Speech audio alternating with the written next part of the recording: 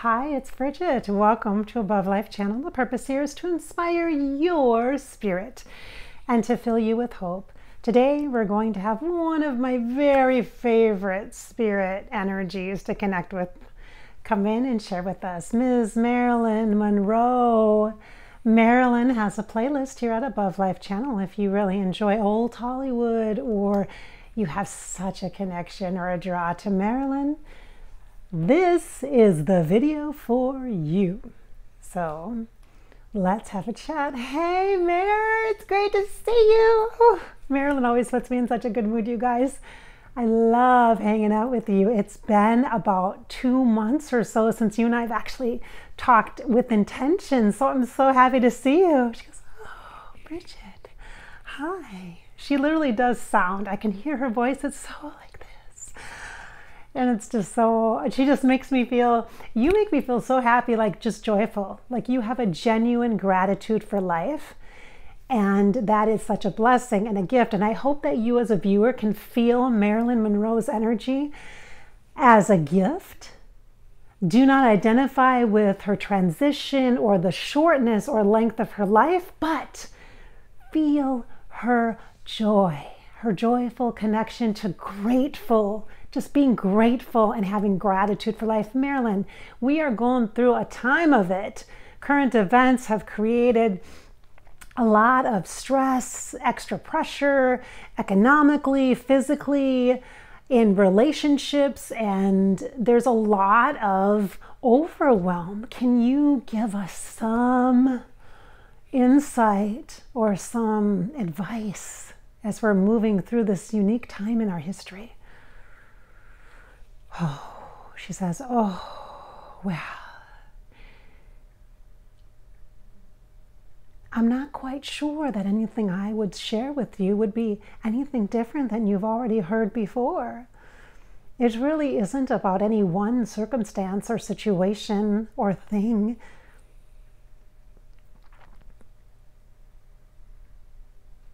In your lifetime, okay, so here she stops and she's like kind of it's interesting. She's getting out a pen and a paper like a journal and she's like writing. Like so she's thinking for a moment and like the pen is like She's thinking for a moment and then she starts to write again, almost like I'm getting information from Marilyn in a chunk or a block of um, it's like infused knowledge, kind of an energy, or what some would refer to as maybe claircognizance. But I'm also clairsentiently feeling her, and I want you guys to do that at Above Life Channel. That's what we focus on.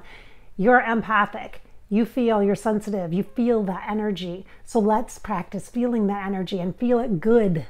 Feel the hope Feel the uplifting energy of connection. Feel it. You can feel it. You don't have to be a psychic on some YouTube channel to feel it. Just open your heart to feel it. So she's writing a pen. She's like, hmm, taking a moment and then writing again. It's not much different than any other thing that you've been challenged with or faced with. She said, faced with in your life. It's really not that different but you you may find that you are different, that you want something different. And it's okay. It's okay to change your mind. You have freedom. You have so much freedom. It's not just the free will piece that that that people have talked about. It's that you really do have this power of freedom and it freedom is like magic. This choice is like magic. It is like a magic wand. And it and I know that it doesn't seem like it should be that simple, but it is that simple. It is not as complicated as, as we all make it out to be. Even if other people are feeling that things are difficult or awful, or even the situations that you're facing, if, if you have a job loss, as one example, I'm sure many will be rippled or affected by that. And it, but it does not have to define you.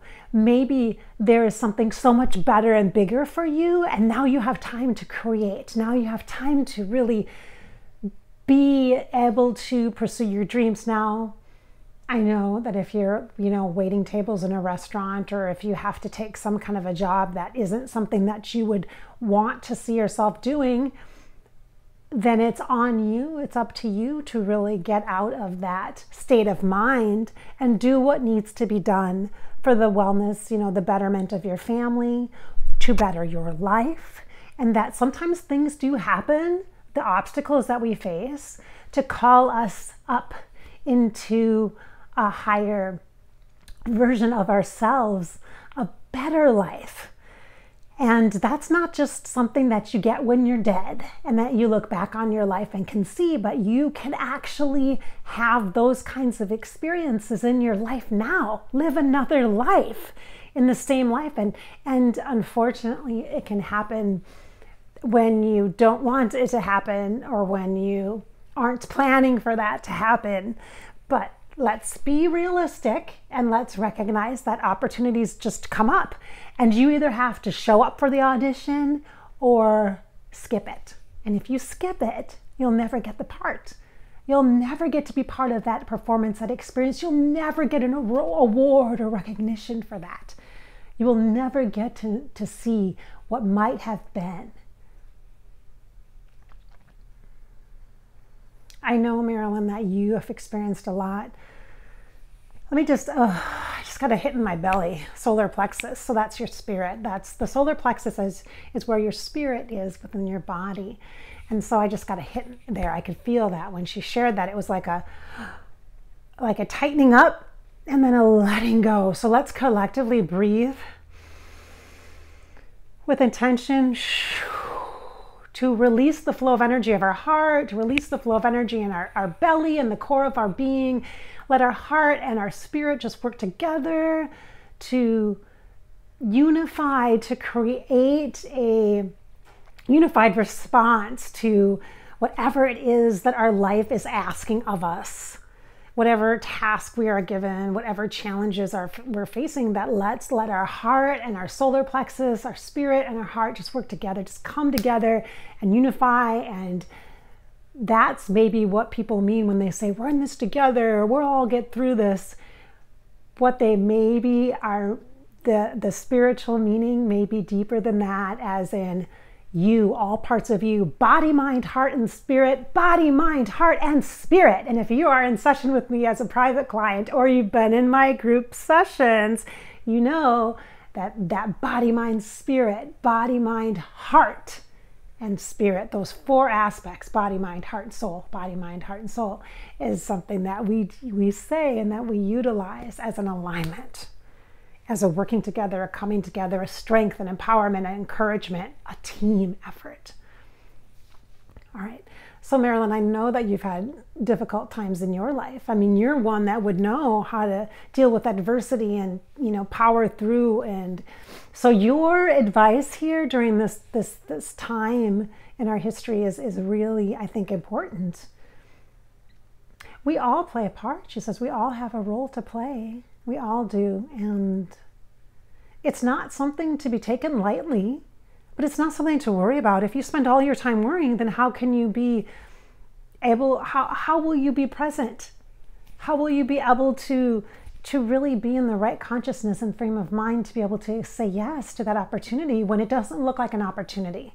You really have to be open, open minded, open hearted, and open eyed, wide eyed. When you look at things, look at them differently from a place of, of opportunity.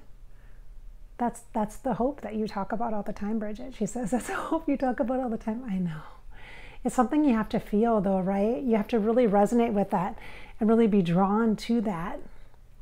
Is there anything in particular, Marilyn, that you would share with us about health or wellness that, that would help us to feel um, better or more positively focused? Oh, I'm not one to talk about health, she says. I'm not one from life, from my lifetime. I wasn't very good at that, I will say.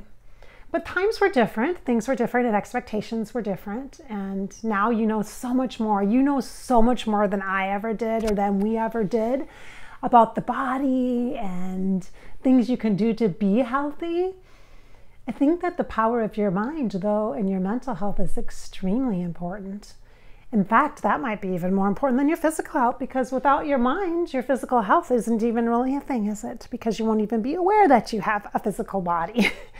your mind is so important to make sure that it's it's clear that you're clear-headed and clear-minded and there's so many different things that you can do for that, but try not to get too caught up and overwhelmed in other people's stuff in their opinions or views or to to value or place more importance on that than on yourself and your own feelings and what you know for yourself to be true. That's something that i i would say that perhaps i learned it the hard way or maybe i never learned it.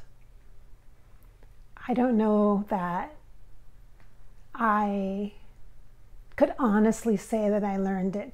I can I can share from a, a place of truth that my heart always guided me, and that's something that a promise I made to myself that I would always love myself and take care of myself.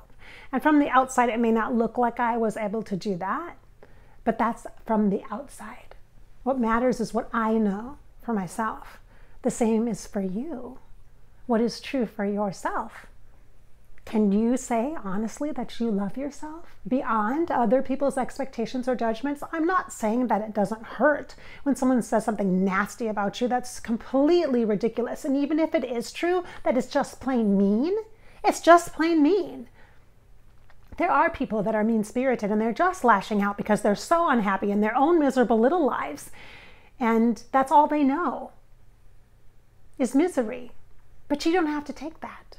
You don't have to accept that. You don't have to even pretend that it matters to you. Uh, and it, and it can still hurt you. It can still hurt. It does still hurt. But you have to mean more to yourself than that. And clearly, your heart is very big and bold, or you wouldn't even be here connecting and sharing with us today or any other time because you can it's not that difficult, you know, it's not that complicated. The mind makes it very complicated, but it is not that complicated to connect in the heart. And that's where you'll find me, and that's where I will find you too.